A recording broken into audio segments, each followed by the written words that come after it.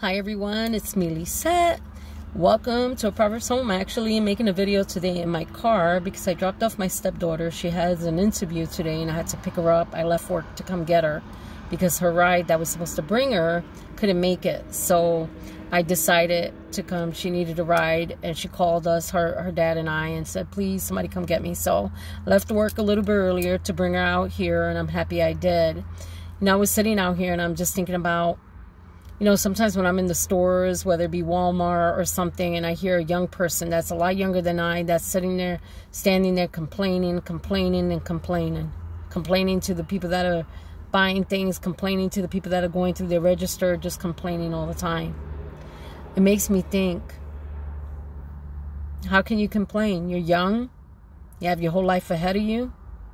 You know, when I was young, I don't know about you, we had to work that was it. There was no staying home and doing nothing. My mom did not allow it. Like, we went to school and we went to work. When we hit a certain age where we could get our working papers, we went to work. One of my first jobs was Macy's.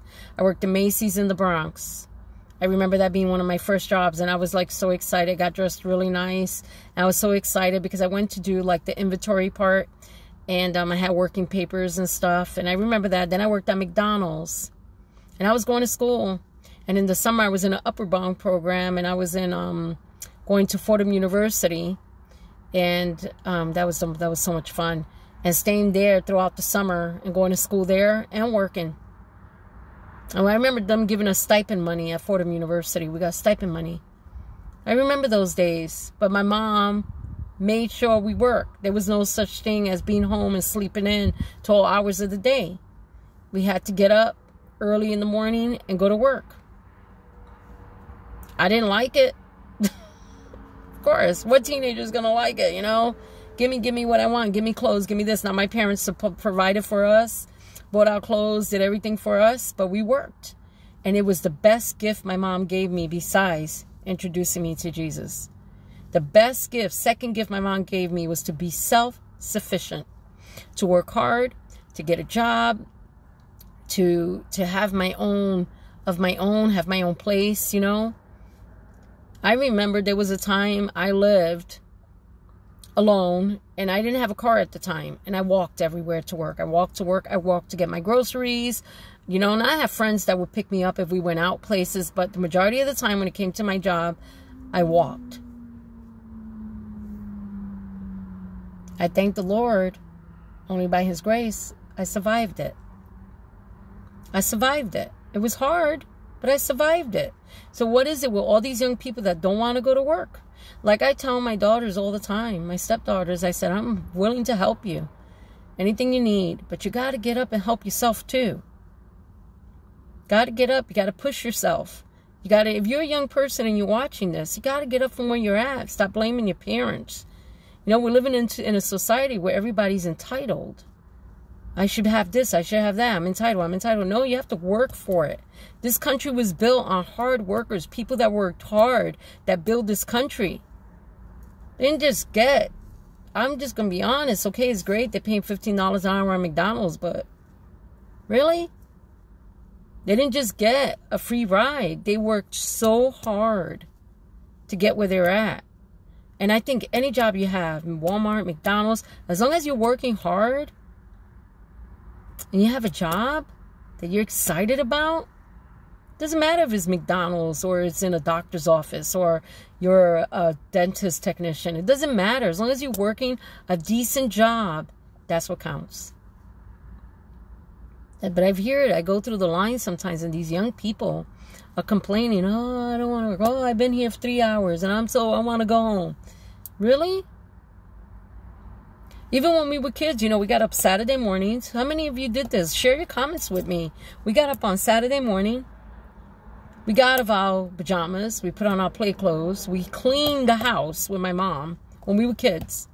And then she let us go outside and play. Come back outside, upstairs, we would get Kool-Aid, we would get a hot dog or whatever, and then we'd go back outside and we'd play. I remember those days. I remember my mom doing rollers in my hair for church on Sunday, and I would have them in my hair all day Saturday. Oh, yeah. And we would be outside running around and just having fun and being kids. What's going on in these days? Children need to be children. They need to quit messing with these kids and putting adult things in their head that children don't need to be thinking about. Children need to enjoy being a child, run around, build a fort, make something with your hands. You don't have to be rich and have a lot of money. We weren't rich. But when we went to parks and my parents took us to different places, we went outside and we took, got sticks and different things. I remember one time going to the beach and being with my friends from church and we got all these like cans that we found and we made like a little store and we would play. I remember playing store at our house, playing all kind of games, being children. I remember going outside in the city and playing in the water. You know, they don't do that anymore, but they would turn on the fire hydrants, the water, and we run out in the streets and play in the water. Remember those days. Those are the good old days. Those is what that's what I call the good old days. Night sometimes at night, it was six o'clock at night, summer night. I remember being outside playing in the playground. My parents were always always there when we were really little and we'd be playing in the playground and swinging on the swings, playing with friends. You went upstairs, you were nice and sweaty, your face was dirty, the bottom of your feet, got in the bathtub, and then went to bed and you slept really well. And in these days, to even get a child to get off their computers and get off their phones and have a, a, just a good time learning about history, learning about fun things, learning how to make something, how to build something, build a fort, take the blankets. We used to take blankets. We lived in the Bronx, but we would take chairs and put them together, throw our blankets on top and go under, make a fort. We would tie to our beds the blankets and make a little tent. We had so much fun. Now people want to give the children the television and their phones and have them babysit their children. Now, I'm not saying there's nothing wrong with some screen time. We liked our cartoons back then. We liked Charlie Brown, and I remember when the newspaper used to come out and it would say CBS Charlie Brown tonight and those fun things. We used to look forward to The Wizard of Oz and all that fun stuff. But my parents didn't use it to babysit us. They gave us skills. We had to do things. I'm not saying my parents did everything right, but they did a lot right. My dad taught me how to write my first check how to have a bank account, all those things so I could learn how to live out in society. And I had to struggle, I had to work hard. To this day, it's not easy. I don't think I'm old anything, I'm entitled to anything. Give me, give me, I need it. No, you work for it. Now, there's ways God blesses us. He helps us. He teaches us to be frugal, to learn how to save our money, and different ways that God just blesses us. But we got to work for those things. We got to work hard to achieve those things. I'm talking to a lot of the young people that are probably watching this. Go to school, get your degree, get do something, you know? I tell my stepdaughters all the time, you do this, I'll do this for you too. You push forward, I'll help you with this. I already told one of my daughters, I said, if you do A, B, and C, and D, I already have all this stuff for you that I'm going to give you. That's going to be yours when you do A, B, C, and D. They know it. They know I'm going to be there for them. But they have to put that foot forward. They have to also try. I'm just not going to give stuff away. And then we're creating a nation of children that don't appreciate anything, disrespectful to their parents. When the parents become their child's friend. Yeah, you can be your child's friend, but you got to be a parent first. Got to stand true. And I have these children that are disrespecting their adult parents. I've seen these adult children just being very rude to their parents one time I, I went with my husband to um, an appointment and I was waiting in the waiting room when my husband was out, you know, in the back in his appointment. And this adult lady was just very rude to her mom. The way she was talking to her was despicable. Despicable. She should have been embarrassed for treating her mom with such disrespect. I tell you what I would have got if I would have ever talked to my mom like that. I'm in my 50s, and thank God my mom's still alive. And she's older now. No, she's elderly now. She still would knock me clean if I talked to her a certain way. You know, my brothers know better than to talk to her with any disrespect. You know, I don't believe in abusing your children and stuff. That that's ridiculous. You know, you can talk to your children and teach them without any of that garbage. You know, but there's got to be a certain kind of consequence. There's got to be, if I would have ever disrespected my mom, all my mom had to do was look at me and I straightened up. I remember in church, I would be fooling around and talking and goofing around. And I look back and my, my mom would be sitting in the back. And she gave me the look. You know the look? Hmm.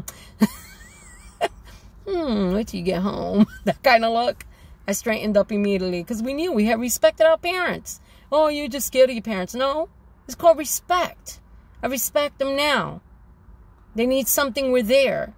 You know, that you respect your parents. I mean, my sister lives closer to my mom than I do. I live in another state.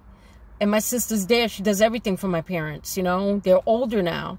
She takes care of them, you know. And then when we visit them, I make sure my mom is okay. She's taken care of. I mean, anyway, going on a tangent. But you know what I'm trying to say. Come on. Kids, get up. Rise up. Rise above everything. Be a kid.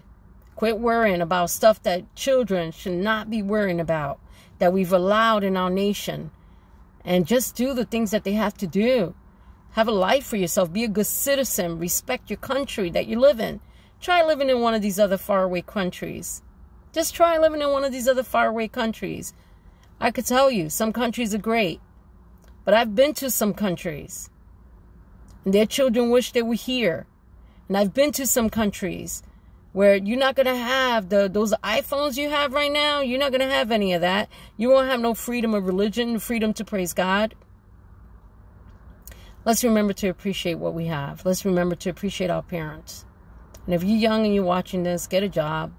Do what you're supposed to do. Work. Quit mooching off your parents. You know, now if they're helping you and you're trying and they're helping you for a period of time, that's great. Help them wash the dishes. Pick up your socks. You know, I'm talking to adult children here. I'm not talking to little kids that need their parents, you know, to be there. And I'm not talking about that. I'm talking about adult children. But you know when that's learned? When they're little. When they're little, you teach them. You make it fun. Help them pick up their socks. You play a game or anything. Teach them to clean up after themselves. I don't know. I went off on a tangent. I tell you I do that sometimes. But it's the truth. It's the truth. Quit blaming our parents for everything. Well, you didn't do this when I was a kid, and you didn't do this, and I wanted that pretty shoes, and you wouldn't buy them, and that's why my life is messed up. Let me tell you something. A lot of us have been through things that we never tell anyone. But we still have to press forward, and we can't still make excuses for why we're not doing what we're supposed to do. Got to go forward. Got to get the help you need if you need help. Not everybody had good parents. Get the help you need. But don't let anything stop you from reaching your goals and the dreams that you have. We're not entitled. What we're entitled to is to work hard, to be a good American citizen, to do our best, to work hard at what we do, whatever it is that we do. May God bless you, everyone. I wanted to share this video while I was sitting out here, make a video and talk about the importance, the importance of working hard, the importance of doing something with your life. God bless you. And you know what? Maybe you can share, share this with maybe a young person that you know that right now doesn't want to do anything. Maybe they'll listen, maybe they won't. God bless. Bye.